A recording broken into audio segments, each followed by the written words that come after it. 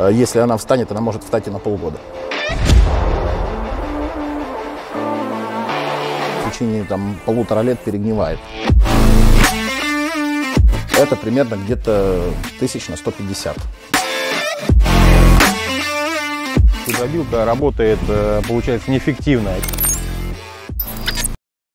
Ребята, всем привет! Вы на канале Мульчер Эксперт. С вами я, Антон Хатунцев и Владимир. Сегодня мы расскажем о э, виде утилизации порубочных остатков. Помимо значит, мульчерной техники, многие сталкиваются с тем, что нужно выполнять объемы в маленьких масштабах, такие как подготовка под строительство торгового центра, вырубка частной территории. И э, мульчерную технику пригонять нерентабельно, невыгодно, она не габаритная, э, тяжелая, большая, требуется специальная техника, чтобы ее перевести. И сегодня мы расскажем значит, об американских дробилках, э, которых есть в наличии 4 единицы. Э, значит, преимущество 4 единиц то, что если, допустим, у вас на объекте одна или там вторая вышла из строя, мы можем ее заменить третьей и четвертой. Производительность дробилок э, мощнейшая. Значит, основной затратной частью у людей, которые занимаются вырубкой и расчисткой, это значит вывоз порубочных остатков. И эти порубочные остатки рентабельно утилизировать э, промышленной дробилкой э, веток. Ну и плюс э, еще одно хочу сказать, что есть моменты, где мульчер в принципе не применяем. Это санитарная очистка леса. И как показывает практика, допустим, в той же Европе, в Штатах, очень часто мы сталкиваемся с тем, что Э, идет санитарная очистка леса, и там вообще, как таковой, э, есть два варианта развития событий. Это либо ветки вывести э, и утилизировать на свалке, либо их передробить, оставить в том же лесу, разровнять ровным слоем, чтобы была естественная подкормка почвы. Вот, соответственно, оставшиеся деревья после этого более хорошо растут, потому что у них есть уже слой природного компоста, который от упавших, от сухих деревьев образовался вот, в процессе уже гниения щепы, и тем самым, э, наоборот, э, появляется такой благотворный эффект для того, чтобы лес быстрее восстанавливался. Дробилки у нас э, в основном это производитель Динамик, он же Барка. Вот. Компания, к сожалению, в Америке уже с 2014 года прекратила их выпускать. У нас вот последние экземпляры, которые выпускались, они все 2013 года. Вот, э, так как э, в процессе банкротства эту, э, эта компания слилась э, с Терексом, э, всем известным производителем, вот, э, в течение 2015 года он данные модели выпускал, но в белом окрасе в России не предоставлена ни одна, в Америке они, в принципе, работают. Э, в дальнейшем от э, рубительных машин, э, так будет правильнее их называть, мелкой производительности, ну, она относительно мелкая, вот, они отказались. Вот, и выпускают на данный момент Терекс выпускает только большие промышленные машины, которые ну, для стационарных деревообрабатывающих предприятий, вот, которые не транспортируются, устанавливаются на одном месте и перерабатывают отходы деревообработки, скажем так. Вот.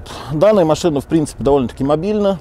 Вот. Преимущество даже перед э, многими американскими машинами у них в том, что э, здесь, э, как мы видим даже вот надпись на дробилке Дискон, это э, конические барабаны. Вот. Э, кто более-менее сталкивался, скажем, работой с деревом, даже ну, тем же примитивным топором, все мы прекрасно э, понимаем, что э, срубить дерево по диагонали гораздо всегда проще, чем перпендикулярно волокнам. Вот. Обычная дробилка барабанная либо дисковая, она дробит, как правило, перпендикулярно, волокнам рубит.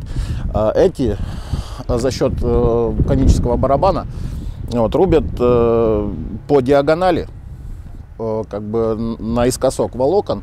Вот, соответственно, тем самым э, при одних и тех же мощностях э, увеличивается производительность. Вот, э, двигатели у них стоят Cummins QSB 4.5 вот. Э, при этом, при всем, в зависимости от барабана, от мощности дробилки, при одном и том же объеме двигателя э, достигается разная мощность. Это достигается уже, соответственно, компьютерными настройками двигателя.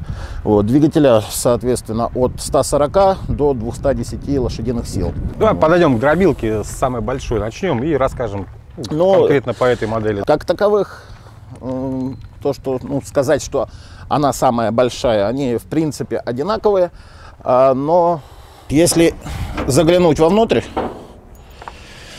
то есть тут мы имеем сдвоенный конический барабан, вот соответственно рубящие ножи в количестве четырех штук.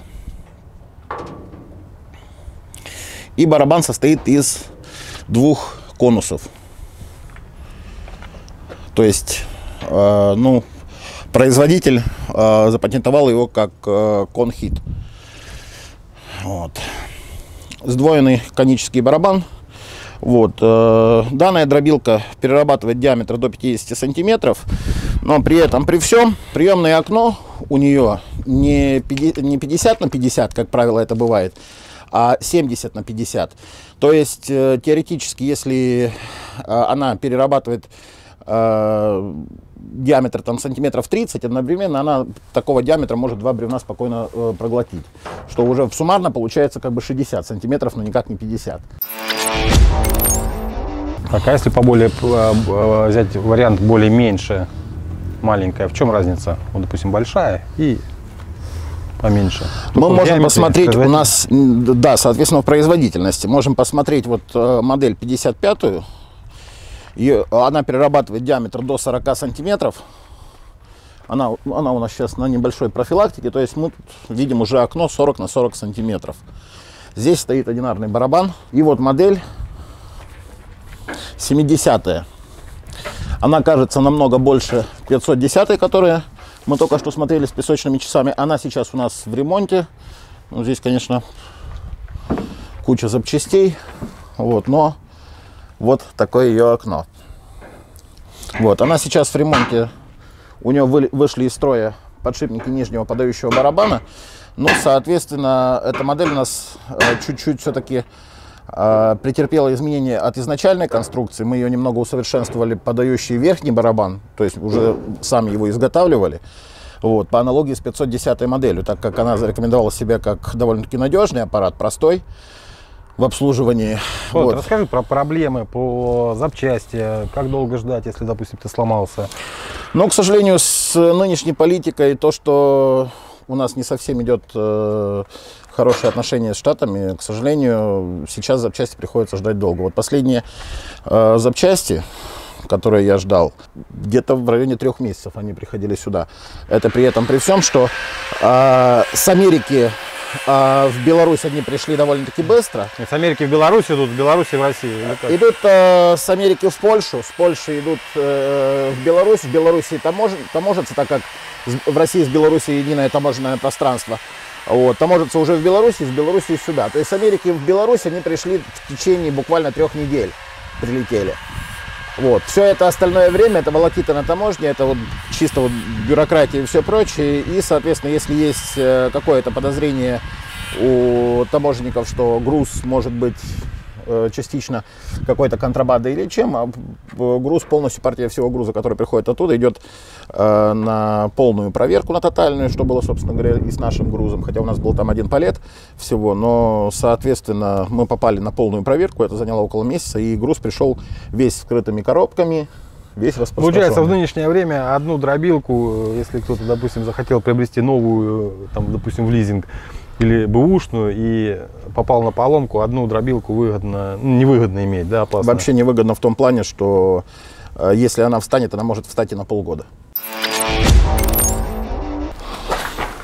Ну вот, собственно говоря, это тоже что пришло с Америки. Просто мы коробки распаковывали. Вот. На какую сумму денег нужно иметь э, запчастей в наличии? Вот это, ну и тут частично на столе, это где-то на полмиллиона на полмиллиона должно быть в запасе. То есть вот диски сцепления запасные, это по-любому должно быть. Если их заказывать с Америки, они обходятся с доставкой примерно в 15 тысяч. Если их покупать здесь по наличию, это каждый диск. Если покупать их здесь в России по наличию, есть вот производитель у них Twin Disc. Угу. Вот, есть официальное представительство Twin Disc, так как это э, сцепление считается судовое и применяется в основном на э, мелких судах, на кораблях. Вот. Есть представительство в Москве, но, к сожалению, у них диск, если по наличию брать, он стоит уже 35 тысяч. Один диск? Один диск. Вот, собственно говоря, подшипники. Подшипники у них тоже своеобразные. То есть мы видим маркировку Dodge. Так называемая фирма Dodge Balder. Вот подшипник тоже довольно-таки вылетающий. Он, они специфические по своей конструкции. Вот каждый такой подшипник стоит порядка 180 тысяч. Один подшипник. Ну, с Америки его притаскивать, понятно, что чуть дешевле. Нехило, ну, не- ну, не- нехило. ну, ничего дешевле, но порядка 100 тысяч он обходится, если я его, допустим, заказываю сам с Америки. Если брать его здесь, представительство, опять же, Dodge Balder в Питере есть. Сто- А аналоги 180. какие-нибудь китайские. К сожалению, эти подшипники а, довольно-таки хорошо защищены а, патентами в Америке, и ну, я думаю, что китайцы даже не рискнут их делать. Спеч- специфическая установка. Это один подшипник. Во-первых, э, с учетом того, что у него размер дюймовый, он еще дюймовый дробный. То есть метрический подшипник э, практически не подобрать, чтобы он подошел. Вот. Э, Есть ребята, у меня знакомые, э, в Кирове, у них 510 модель, они все-таки пошли более... Тоже динамик, да? Э, Динамик такой же точно, как у нас 510 модель. Они пошли более простым путем. Вот. Они э, переделали вал на отечественный подшипник. Подшипники у них выхаживают где-то около недели, потому что отечественных двухрядных подшипников нормальных такого плана нету. Плюс мы здесь видим, что есть защита металлическая, и она на самом деле, если подшипник э, уже выходит из строя, ее очень хорошо видно, она тут двойная. То есть э, в процессе работы э, идут опилки, идет грязь. Отечественных, к сожалению, ни отечественных, ни китайских, ни европейских подшипников, подшипников с такой защитой нету. И на обычных, скажем, подшипниках, что европейских, что китайских, что отечественных, у них уплотнение, оно идет одинарное и не металлическое, оно идет э, резинометаллическое. В процессе пыли и всего прочего оно выходит из строя, соответственно, подшипник не смазывается, он выходит полностью из строя очень быстро. Чревато это еще тем, что в процессе может э, полететь э, сам вал, потому что если подшипник заклинит, проворачивает внутреннюю обойму, вот, что э, портит вал. Э, На, у динамика преимущество перед э, многими производителями, в том числе, допустим, Вермером, это в том, что вал у них все-таки сменный, но это, опять же, довольно-таки дорого. И могу сказать, что вот, ну, даже попытки изготовить вал из э, того металла, который есть в России, они, ну, пока, я знаю двоих э, ребят, кто пытался это сделать, но пока не увенчались успехом, потому что вал ломается. То есть сталь все-таки там тоже специфическая. Расскажи о поломках, о таких, как э, кто-то забросил арматуру в дробилку. Это тоже бывает. Вот я хочу для начала еще показать. Давай. Вот, допустим, прибор автофит. Тоже довольно-таки часто вылетающая деталь. Вот. Он, соответственно, предназначен на дробилках для того, чтобы э, при большой нагрузке, чтобы снять нагрузку с двигателя, не рвать сцеп- сцепление, не рвать приводные ремни. Вот, э, этот прибор, соответственно, отключает подачу гидравлическую. э, при этом при всем двигатель набирает свои обороты. Вал, э, вернее, рубящий барабан тоже, соответственно, наб- набирает свои обороты. И после этого прибор запускает подачу дальше. Дальше, мы тут имеем еще само сцепление в сборе. Вот это промежуточный диск. Тут же тоже мы видим диски э, сцепления. Вот. Это нажимной диск. Это ведомый диск. Это выжимной подшипник. Это у нас сейчас в разобранном виде. Все. Если суммарно вот это все собрать, ну, это примерно где-то тысяч на 150. Вот только вот эта кучка. Володь, про сцепление рассказал, давай расскажем про двигатель. Ну, двигатель сам по себе э, довольно-таки надежный. Э, с э, американскими двигателями мы уже как бы сталкиваемся очень тесно и уже хорошо имеем и ремонтную базу свою и все прочее. Вот тут у нас от Фордов головки двигателя лежат отшлифованные. Вот. Двигатель, как я говорил, там э, Cummins э, QSB 4.5 вот, э, на наших дробилках стоит. И, соответственно, сам по себе двигатель довольно-таки надежный. Надежен он, наверное, еще даже из-за того, что данный двигатель, э, хотя все знают, что завод Cummins находится в Китае уже давно. Вот, но данный двигатель выпускается только в Америке, на американском заводе Каменс, если я не ошибаюсь, в Мичигане. Вот, соответственно, может быть, из-за этого еще надежность двигателя довольно-таки высокая, но, к сожалению, есть э, один нюанс, который убивает э, всю нашу технику, э, я имею в виду, которая в России работает, это низкое качество, низкое качество топлива.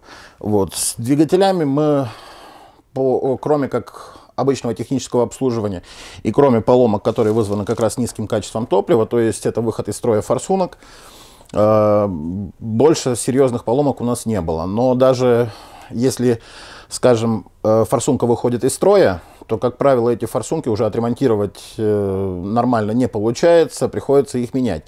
Если, допустим, на том же э, двигателе Cummins BT, BT6, BT4, которые применяются на технике, которая выпускается в России, это автомобили ГАЗ, автобусы ПАС, КАМАЗ, соответственно, на другой технике, которая непосредственно, вот двигатели этой серии выпускаются в Китае, если на него форсунка, допустим, стоит порядка 12-13 тысяч рублей, то на данный Каменс форсунка одна уже стоит порядка 40 тысяч рублей. Вот, как правило, если из-за низкого качества топлива они выходят из строя, то выходят все. Соответственно, тут уже понятно, что чисто на форсунке э, надо выложить 160 тысяч рублей. И, как правило, в России их, опять же, нету. То есть с учетом того, что двигатель американский, все-таки э, на российскую технику этот двигатель не устанавливается, приходится это все заказывать со Штатов. Ждать три месяца. Ну и ждать три месяца, но всего, опять же, у нас, я говорю, у нас где-то, ну, примерно сейчас расходников запчастей где-то на полмиллиона есть на складе, вот, но даже с учетом этого мы не можем спрогнозировать, что вылетит э, в следующий раз. Мы, допустим, запчасти держим и расходники держим только те, которые, собственно, уже ну, по опыту являются наиболее часто требуемыми. Вот. Но что вылетит, допустим, вот э, тот же прибор Автофит, вот, который я показывал, он у нас из четырех дробилок вышел из строя вот буквально полгода назад только на одной. Опять же, его пришлось заказывать. Э, они периодически выходят, но еще можно как-то его реанимировать, оживить. Это э, происходит из-за того, что в процессе работы а, дробилка довольно-таки большую вибрацию имеет, и любые электронные контакты, все прочее, ну, при, периодически при, приходится делать им ревизию. Это не, не только автофита касается, это касается, допустим, э, того же генераторного оборудования, в целом всей проводки, блока, электронного блока управления двигателем. То есть, э, ну, есть моменты, когда э, часто очень приходится э, делать, скажем, ну, даже не то, что Э, ревизию, а некоторую такую уже серьезное вмешательство в электропроводку. Вот. Соответственно, для, для этого у нас уже есть э, приобретены и диагностические сканеры, чтобы быстро находить причину поломки. И есть как-никак какой уже небольшой опыт. Какие еще нюансы есть? Это, опять же, ну, у многих может э, создаться вопрос, сам по себе. Мы рассказали, в принципе, про конструкцию барабана, про все прочее, а чем они рубят. Вот, рубят они, естественно, ножами рубительными. Вот. А, сами рубительные ножи это тоже а, некий нюанс определенный, потому что а, какая, а, какая разница между дисковыми и барабанными рубительными машинами. Вот. У барабанных рубительных машин у них а, количество оборотов Э, в процессе работы барабана намного ниже, чем у, дисковой. То есть, если э, э, как бы дисковые рубительные машины, они вполне хорошо дружат с ножами твердосплавными. Это, ну, та же Г65 сталь, Х2. Вот, соответственно, дисковые, к сожалению, вернее барабанные, к сожалению, с этими сталями не дружат. Вот. Э, американцы, э, выпуская дробилки, они предлагают только свои ножи сугубо. Вот. И э, сплав стали этих ножей, они, спецификацию самих ножей, с какой стали они сделаны, все прочее, они, к сожалению, не дают. Они это держат, так сказать, в секрете.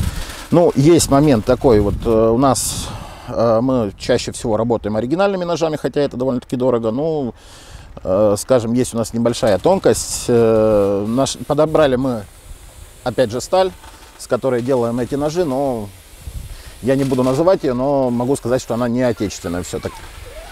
Вот. А потом, соответственно, э, опять же, возвращаясь к ножам, если комплект оригинальных ножей брать на дробилку, вот хотя бы, ну, допустим, на эту, то комплект стоит порядка 1000 долларов. Это 4 ножа.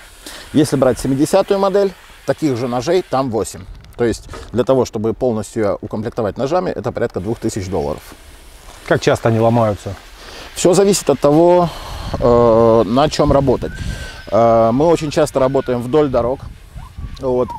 И там бывает, э, ну не то, что бывает, а Каменистая учетом, пыль. э, вот да, пыль с годами, которая, это даже не замечается, вроде работает машина на чистом дереве, визуально оно чистое, ничего такого нету. Но на самом деле с годами вот эта вся пыль, которая седает на деревьях, она врастает в структуру древесины. И она получается вот как пескоструит э, само, само по себе. Это в Карелии мы режущее. сталкивались. То есть в Карелии ножи летели прям один, ну, один за одним. Да, потому что включением в саму структуру дерева уже э, попадается песок, то есть ну, тот же э, кремний, он это самое, он э, довольно-таки быстро ножи... Вот. Бывают случаи, что особенно в регионах, где проходили бои в Великую Отечественную войну, где леса произрастают, бывают случаи, что очень много осколков снарядов попадается в дереве. Вот. И, ну, допустим, достаточно один осколок поймать и тем самым, грубо говоря, там ушатать 2-3 ножа. Вот, то есть они после такого удара приходят полностью в негодность. Если вы заказываете э, такую дробилку к себе на объект, то сразу предупреждаю, нужно иметь человек 12-15 для того, чтобы они без остановки могли подавать. Потому что бывает, приезжаем на объект, начинаем работать, э, заказчик выделяет там 3 или 4 человека, и эти 3 или 4 человека, они заняты только тем, что подносят, э, ну, организовывают кучки, потом с этих кучек подают дробилку, в дробилку, и дробилка работает, э, получается, неэффективно, и выработка малая. И заказчика сразу предупреждаем, когда звонят. То есть берите подсобников как можно больше, для того, чтобы работа была эффективнее, для того, чтобы вы э, утилизировали свой порубочный остаток ну, как, как можно быстрее. Значит, вот, собственно говоря, хотел показать еще ножи. Вот такого плана мы имеем в виду. Новый нож. Вот нож после заточки, Заточенный. но со следами удара, который мы здесь видим. Вот нож уже отработанный, соответственно, ставить его нельзя, потому что ширина ножа, точатся ножи вот от нового до такого состояния максимум по 5 миллиметров с каждой стороны. Дальше уже увеличивается зазор между контрножом и рубящей поверхностью ножа. И, соответственно, нормально, э, нормальной работы не будет. Будет большая повышенная нагрузка на ременную передачу, будет нагрузка на сцепление. Соответственно, ну, такими ножами работать уже нельзя. Вот нож со следами удара, это когда попадают металлические частицы в дереве. Его заточить можно еще будет? То есть, ну, теоретически смотрим. Его можно еще один раз заточить, но максимум до вот такого состояния. То есть этот нож заточен, мы видим, одна кромка рубящая у него нормальная абсолютно, а вторая кромка у него как бы тоже нормальная, но, соответственно, в одном месте мы имеем э, хороший скол. По производительности. Производительность хорошая, конечно, тема. Когда вам часто спрашивают заказчики, какая у них производительность, Э, завод э, ставит, ну, возьмем, допустим, конкретно 510 модель. Э, Завод говорит, что у нее производительность до 60 кубов щепы в час На выходе. уже. на выходе, да. При этом, при всем, действительно такой производительности э, мы добивались несколько раз. Э, Но это, опять же, при механизированной погрузке. Это когда используется для подачи э, грейферный кран-манипулятор лесной.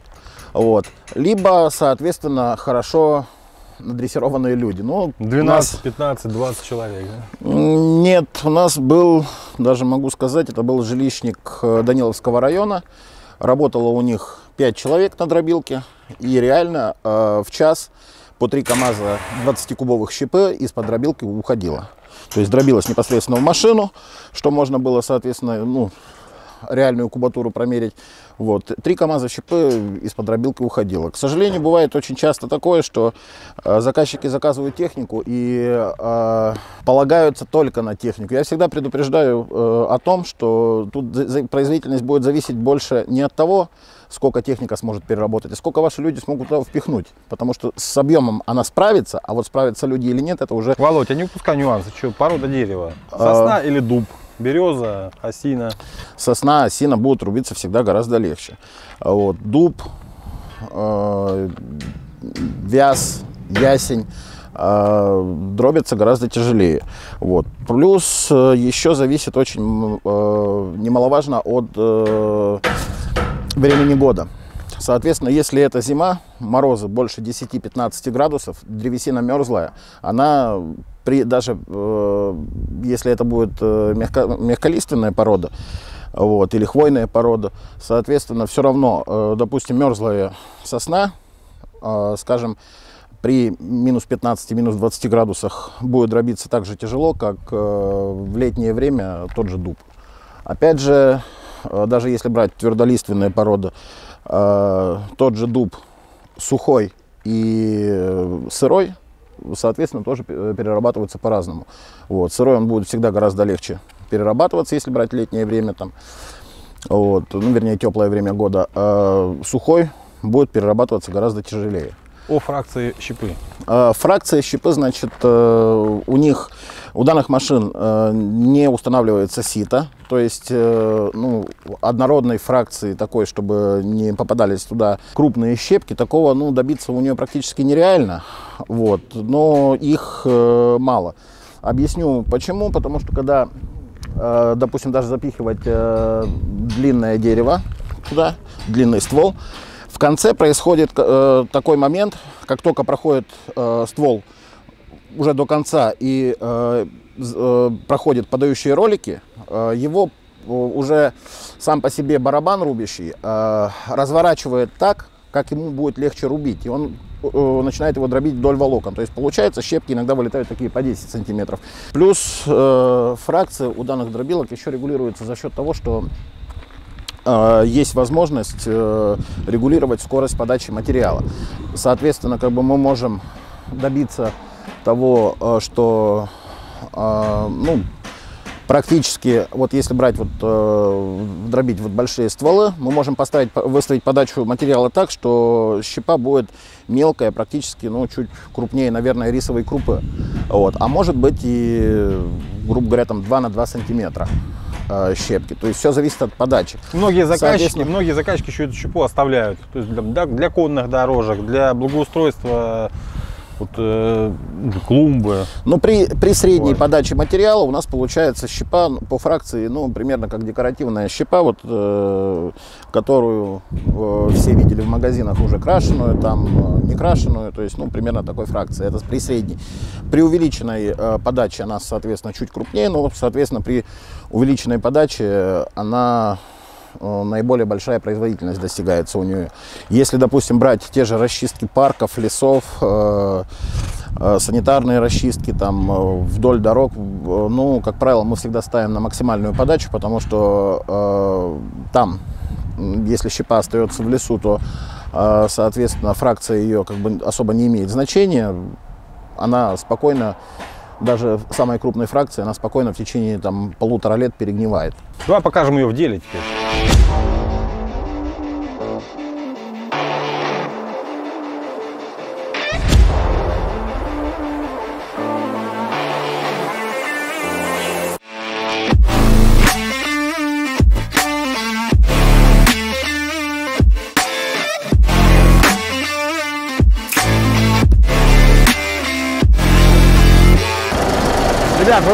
Канале Мульчер Эксперт.